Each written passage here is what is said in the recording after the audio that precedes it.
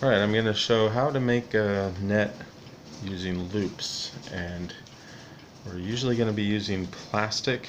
I'm just going to show you how the cutting would be. So if this was closed off on both ends, you'd, you'd cut one end and the other end and then you have not cut here and not cut there that way when you look inside you've got a, a loop and then you can make loop smaller loops whatever size that you want.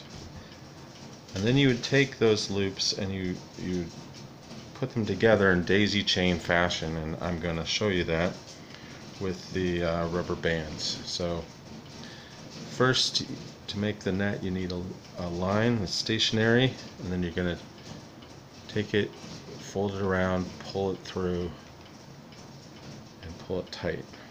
Okay now I'm going to do a few of these just to demonstrate because you'll get the idea really quickly.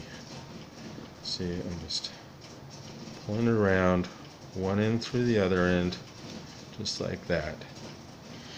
Then every time you see two, you take two and you pull one through and do exactly the same looping motion just like that. Two you're going to pull it through both just like that. Then you're going to have two here and pull it through. Pull it through both. You know and then you might be spreading them out to make it fairly even and you'll have another one down here that looks like that. And then you'll have kind of a diamond shape here. But they'll all get joined together in the exact same way. And that that is how you make a um, net.